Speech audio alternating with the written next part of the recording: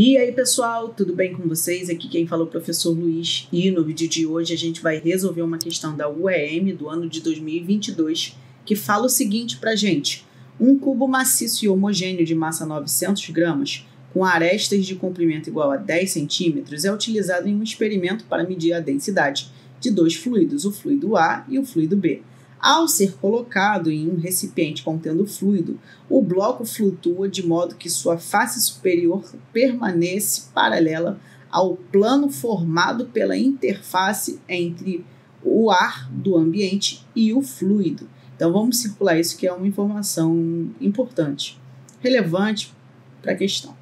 Verifica-se que a altura da parte submersa do bloco é igual a 8 centímetros do fluido A e igual a 6 centímetros no fluido B, considerando ideais os fluidos A e B e que a profundidade dos recipientes é maior que 10 centímetros, assinale o que for correto. Vamos lá, gente. Ele diz na 1 que o módulo do empuxo que age sobre o cubo é igual ao módulo do fluido, do peso do fluido deslocado. Vamos lá, vamos tentar entender isso, vamos ver se isso é verdadeiro, se é falso. Mas antes disso, vamos entender a situação. Eu coloco um cubinho aqui e quando ele fala essa parte aqui que permanece paralelo ao plano formado, blá, blá, blá, blá, blá, blá, blá, blá, ele está dizendo o seguinte, ó, aqui tem a divisão de separação entre o fluido e o ar.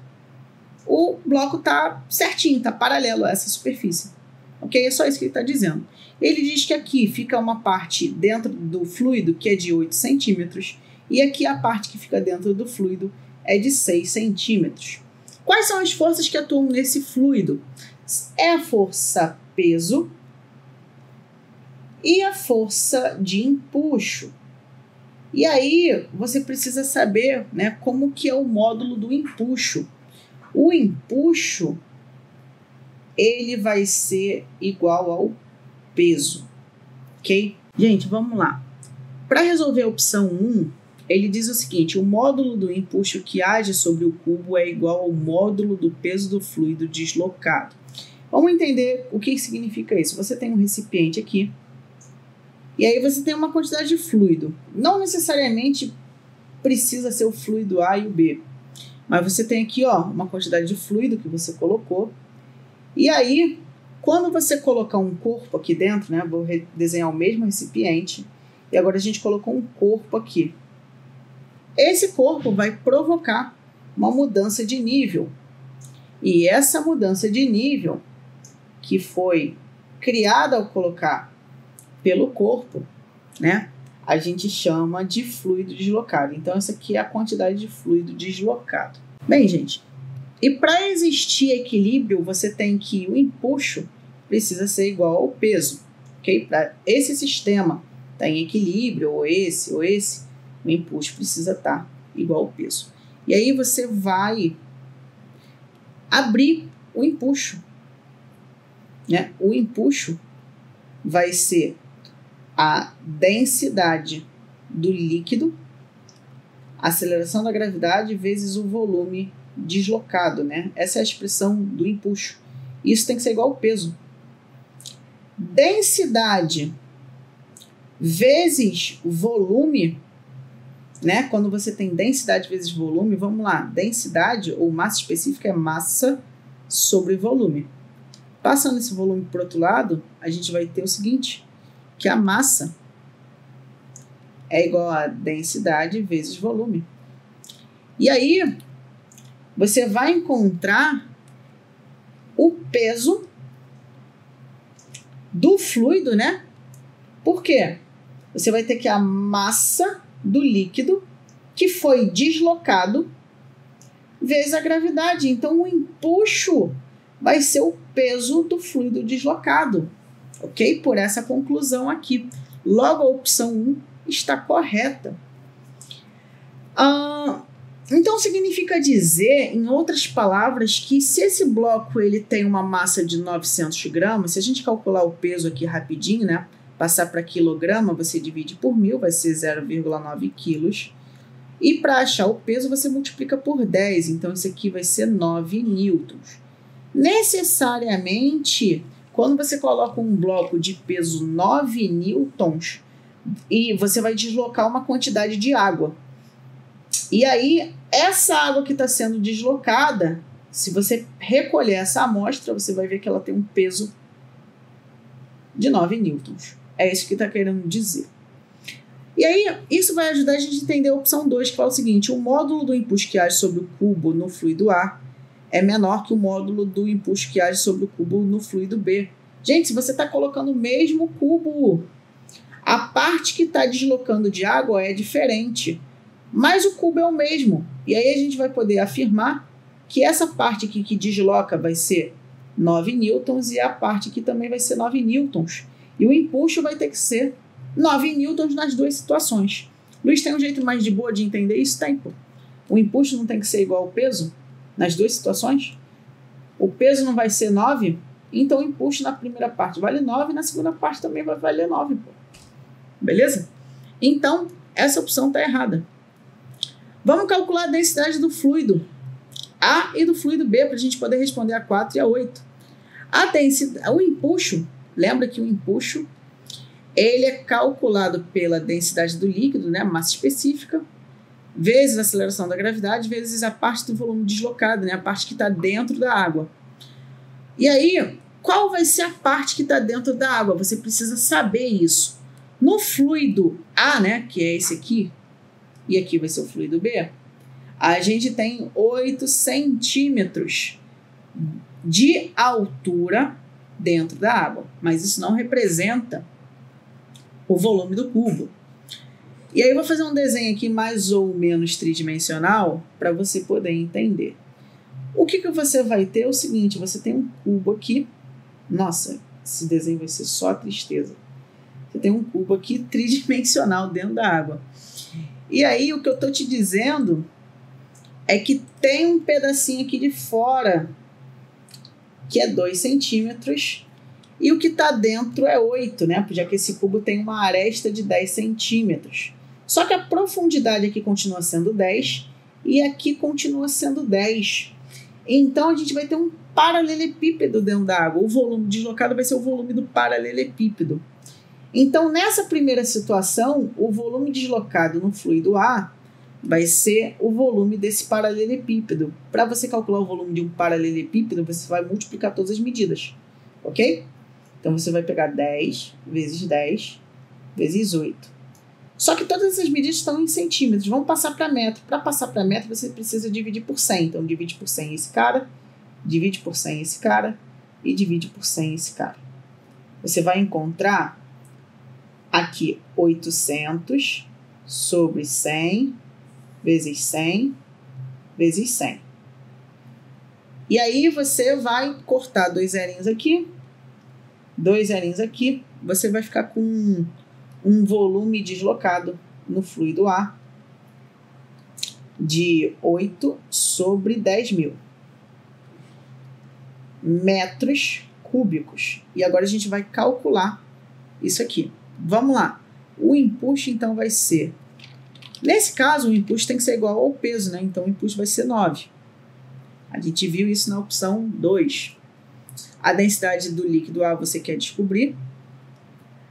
A gravidade vale 10 e o volume deslocado é 8 sobre 10 mil. E aí você pode dar uma cortadinha no zero aqui, ó. Cortou? Vai ficar mil. Esse mil está dividindo, vai passar para o outro lado, multiplicando. Você vai ter 9, 9 vezes mil, 9 mil. igual a 8 vezes MA, que é a densidade do líquido A. E aí você vai pegar esse 8 que está multiplicando, vai passar para o outro lado dividindo, você vai ter que a densidade do líquido A vai ser 9 mil divididos por 8. Vamos fazer essa divisão. Fazendo essa divisão, gente, vocês vão encontrar 1.125 quilogramas por metro cúbico.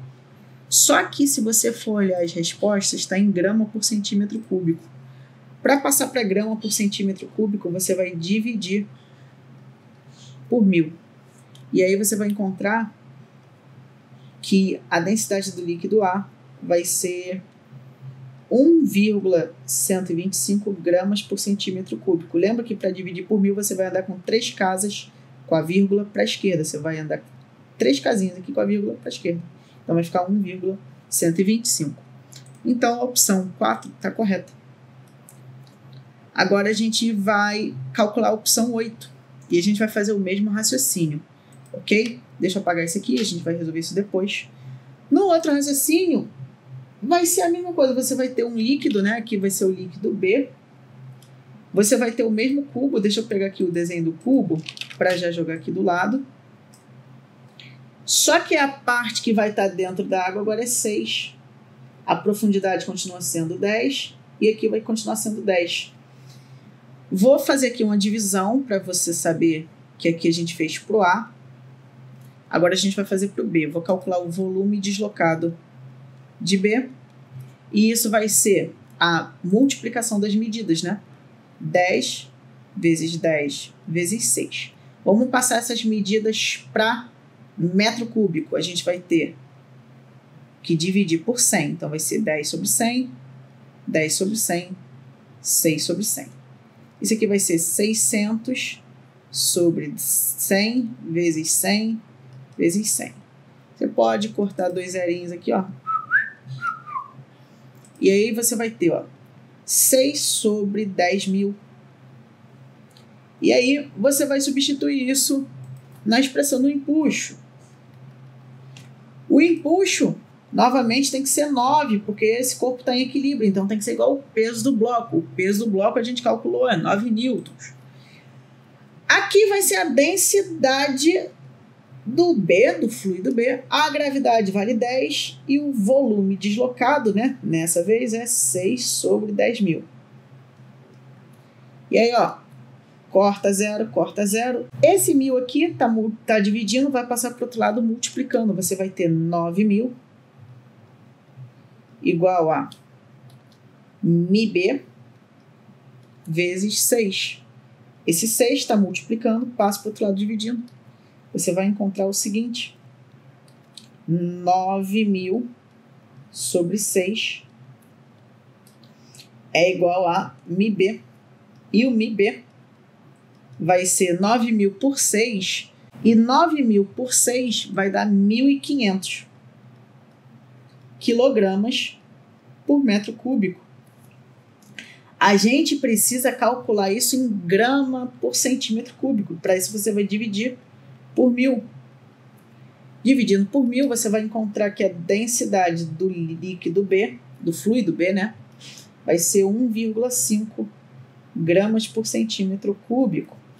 E isso vai mostrar que a opção 8 está incorreta. A opção 16 fala o seguinte: se fosse colocado em um recipiente com água, esse cubo afundaria. Então, para a gente saber se esse cubo afunda, ele precisa ter uma densidade maior que da água. E para isso a gente vai calcular a densidade dele. O valor que eu vou utilizar para calcular essa densidade vai ser os valores em gramas mesmo, porque fica mais fácil de fazer a conta. Ok? Vamos lembrar que densidade é a mesma é massa sobre volume. E a massa desse cubo é 900. O volume do cubo a gente não vai usar em metro cúbico, a gente vai usar em centímetro cúbico mesmo para facilitar as coisas, tá bom? E aí, a gente sabe que o comprimento do cubo está de 10 centímetros e o volume dele vai ser a o valor da multiplicação de todas as medidas. Então, vai ser 10 vezes 10 vezes 10, ok? Só que dessa vez a gente vai deixar em centímetros mesmo, todas essas medidas estão em centímetros. Se você fizer a conta, você vai encontrar 900 sobre mil. E isso vai dar 0,9 gramas por centímetro cúbico. E aí você precisa lembrar que a densidade da água é um valor que você precisa carregar no coração e vale 1 grama por centímetro cúbico ou mil quilogramas por metro cúbico. Como esse valor do cubo, da densidade do cubo, é menor que a densidade da água, ele vai flutuar na água e não afundar. Logo, essa opção 16 ela está incorreta. E assim, o gabarito vai ser 1 mais 4, e isso vai resultar em 5. E assim a gente termina essa questão. Vou ficando por aqui, desejo uma ótima semana, bons estudos e até a próxima. Tchau, tchau.